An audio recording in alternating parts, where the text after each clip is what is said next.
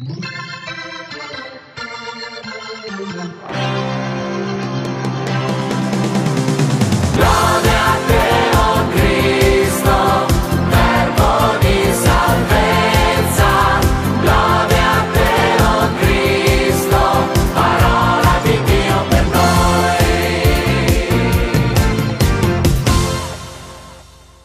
eccoci al giovedì di questa quarta settimana.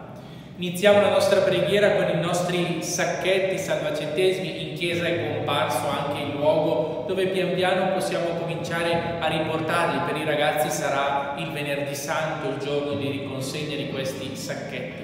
I sacchetti che mi richiamano sempre eh, tante storie.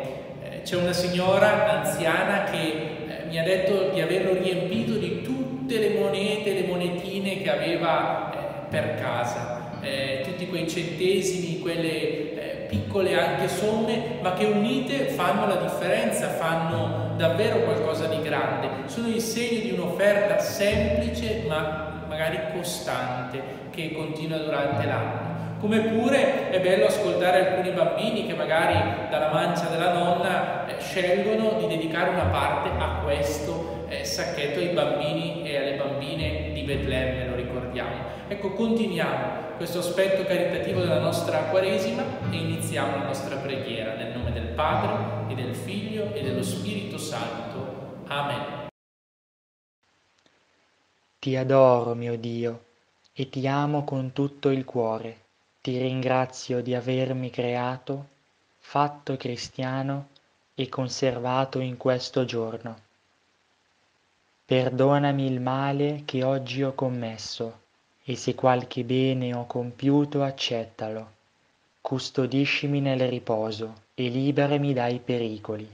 La tua grazia sia sempre con me e con tutti i miei cari. Amen. Dal Vangelo secondo Giovanni. E il giudizio è questo. La luce è venuta nel mondo, ma gli uomini hanno amato più le tenebre che la luce, perché le loro opere erano malvagie. E questa sera il Vangelo ci porta dentro una contrapposizione, un contrasto tra due altre parole, luce e tenebre. Sono parole care al Vangelo di Giovanni, la luce e le tenebre. Stasera ci dice anche magari con una certa difficoltà, e il giudizio è questo, la luce è venuta nel mondo, ma le tenebre non l'hanno accolta. Potremmo fare un esperimento, magari se lo fanno i bambini a casa è bene che lo facciano con i loro genitori, ma è quello di rendere una stanza buia completamente e poi di accendere una candela e vedere che cosa fa la luce nelle tenebre. La luce cosa fa? Rischiara e getta anche delle ombre, o meglio, fa schiarire le cose che riesce ad illuminare gettando dietro di sé delle ombre. Ecco, credo che questo piccolo esperimento che possiamo fare tutti ci dice che cosa è l'incontro con Gesù nella nostra vita. È quella luce che è capace di illuminare, è quella luce che rischiara il buio, è quella luce che fa verità nella nostra vita e che toglie le tenebre. Purtroppo, annota l'Evangelista Giovanni, a volte a noi un po' piace stare nel buio, stare nelle tenebre, stare in quelle zone di penombra magari, che non sono proprio il buio perché il buio capiamo tutti che è brutto, ma in quelle zone un po' lì dove si vede e non si vede. Lasciamo invece che la luce di Gesù, la luce che viene dalla sua croce, dalla sua morte e risurrezione, rischiari la nostra vita e la illumini davvero. Per questo stasera preghiamo. Signore, spesso siamo come Nicodemo. Veniamo a cercarti di notte quando abbiamo paura e ci sentiamo smarriti. Rassicuraci con la tua tenerezza di padre e ricordaci che per ciascuno di noi c'è una promessa di eternità. Amen.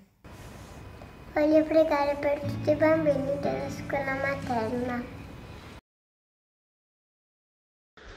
Padre nostro, che sei nei cieli, sia santificato il tuo nome, Venga il tuo regno, sia fatta la tua volontà, come in cielo e così in terra. Dacci oggi il nostro pane quotidiano e rimetti a noi i nostri debiti, come anche noi li rimettiamo ai nostri debitori, e non abbandonarci alla tentazione, ma liberaci dal male.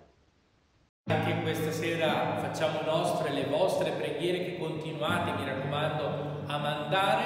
Salutiamo i ragazzi della Cresima, seconda media, con i loro padrini, madrine, genitori. Appuntamento importante quello della Cresima per cui vogliamo pregare davvero per loro perché incontrino Gesù come quella luce e a tutti davvero l'augurio di una buona serata con la benedizione del Signore. Il Signore sia con voi, vi benedica di Onnipotente Padre e Figlio e Spirito Santo. Amen.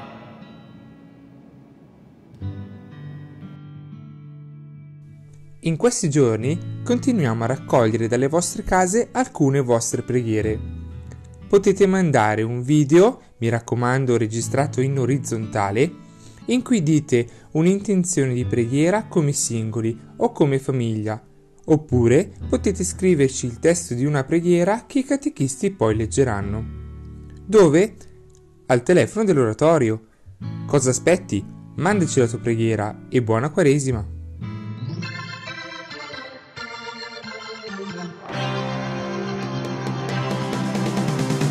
Come la luce illumina ogni cosa la tua parola arriva.